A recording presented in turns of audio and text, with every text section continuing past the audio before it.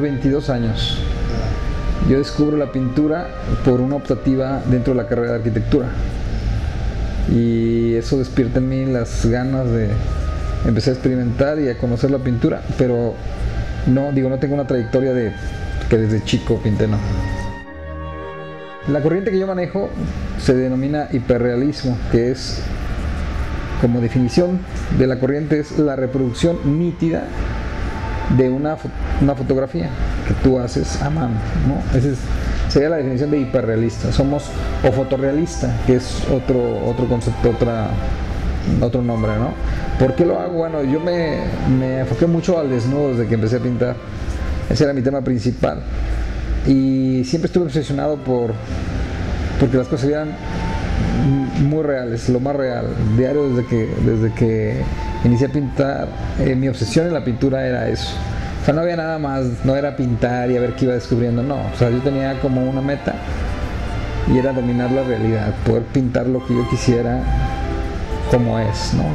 Esa fue una, una motivación para mí y fue lo que me introdujo en el hiperrealismo. Pues.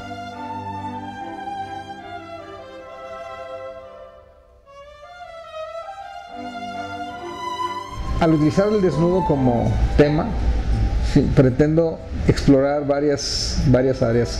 Primero, el, erotismo causado por las formas, eh, la sexualidad también, y el misterio del cuerpo humano, ¿no? O sea, desde eh, una mirada, una posición sugerente, ¿no? Es, eso cuando pasa una mujer muy atractiva que trae a lo mejor una minifalda y dices, mira qué piernas, ¿no? ¿Qué incita o qué provoca una forma? Porque son, una, son formas, ¿no? La composición de esas formas genera más ideas, más sensaciones, ¿no? Entonces siempre he estado como, como en constante exploración del cuerpo humano. Por eso me, he clavado muchísimo el desnudo y, creo que todavía, digo, falta muchísimo más por, por descubrir en, en esos rostros, una mano, un torso, un derrier.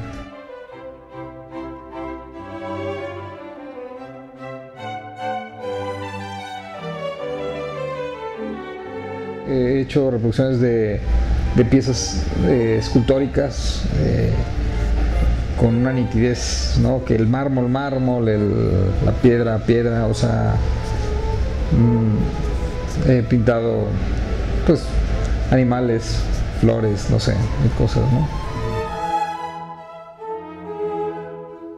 mis cosas son óleos, óleos sobre tela. La pintura para mí fue el domar mi mi ansia o mi desesperación por estar solo. Eh, yo tenía un grave problema con la soledad y al descubrir la pintura, pues fue como introducirme a un mundo diferente donde ya no estaba solo, ¿no? Entonces, para mí la pintura fue como un pues como una droga, una medicina o no sé, algo que me, que me mantenía estable y me da mucha tranquilidad, me da mucha emoción, me hace sentir mucha satisfacción cosa que antes no podía. Yo estaba solo y estaba desesperado. Porque fue como, como lo denominan, ¿no? O sea, cuando uno está casado y es artista, dicen que la, su arte, ya sea la, eh, la música, la danza eh, o la pintura, es su amante, ¿no? Fue como eso, fue como un complemento. Para mí la pintura es eso, ¿no? Es mi amante, ¿no? Entonces, Imagínate o concibe que sería un amante para una persona. Pues eso es lo que viene a cumplir conmigo, la, la parte padre, ¿no? De la vida. Dicen que, que a veces este, tu pareja es la parte rígida, ¿no? Y el amante es más complaciente. Pues para mí la pintura es algo mucho más complaciente, ¿no?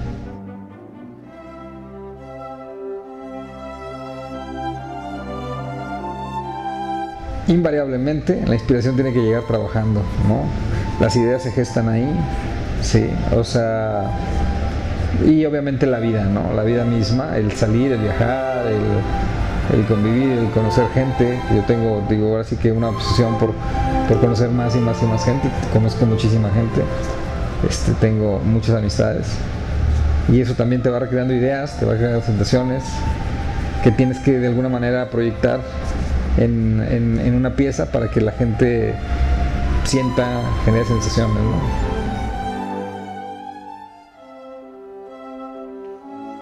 Decía Picasso que las musas llegan en algún momento, pero se tienen que encontrar trabajando. Entonces yo tengo como una disciplina en, cuestión de trabajo y trabajo todos los días.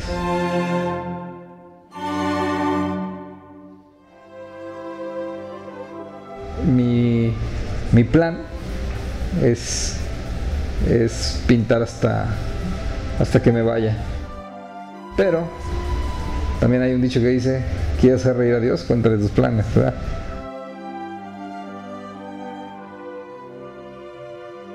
existe el plan para, empezar a radicar en Estados Unidos, eh, primeramente en la ciudad de Dallas y posteriormente, meses eh, adelante, no sé, tres, cuatro meses, cambiar la residencia a Nueva York, que es el plan.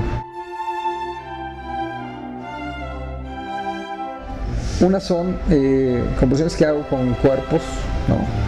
formas para generar un, una composición con un solo cuerpo y otras utilizo algún elemento que me sirve como pretexto para generar otra composición, ¿no? Sillas, pelotas, telas, no sé. Entonces, más que nada lo que busco es eso, es como, como darle un toque mm, de, de misterio, que te cree una sensación y que te despierte una una reacción, ¿no? O sea, eso es lo que busco con posiciones de formas. Unas son, como te decía, son buscando ese erotismo, otra que es buscando la provocación sexual y otra buscando misterio, este, cuestionamientos. Eso es como crear todo un elemento con cuerpos, utilizando el cuerpo humano simplemente como parte de tu, de tu construcción arquitectónica, podríamos decirlo así, ¿no? Una forma generada con cuerpos, ¿no? Desnudos. Y esa sensación que genera, eso es lo que se busca. Soy un artista obsesivo compulsivo, entonces me saturo de trabajo y de, y estar pintando y pintando y pintando y pintando y pintando. O sea, eh, que no me da tiempo para abrirme a, pensar a lo mejor en dar clases o algo así, ¿no? Y digo, me, hace falta seguir experimentando mil cosas y, seguir encontrando nuevas cosas que, quiera, que quiero realizar, varios proyectos, nuevos conceptos, nuevas ideas. O sea, es, un trabajo de tiempo completo que no si me daría la opción de tener otro, otra, otra actividad.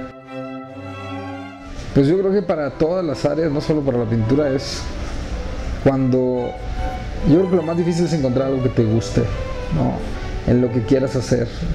Hoy precisamente ponía un comentario en mi Facebook que cuando logras conseguir un trabajo o un laboral que te gusta, Eh, lo peor que te puede pasar es que hasta te, te quieran explotar, ¿no? Pero si, es algo que te apasiona, pues es, una diversión pagada, ¿no? Es algo que disfrutas y aparte te lo pagan. Entonces yo creo que si es eso, si es el arte lo que les llama, es no dejar nunca, nunca quitar el dedo del renglón, creer en lo que estás haciendo y no dejarte de llevar por, por los micros. Nosotros somos como los hijos malditos, ¿no? Los artistas somos personas malditas. Entonces, eh, siempre encontraremos, para nosotros es muy fácil encontrar eh, palabras de desaliento. Es muy fácil para la persona que no ha logrado nada decir que no puedes. Entonces, eh, en ti. de esa gente van a encontrar mucha. Decir que te vas a morir de hambre, este, no es lo tuyo.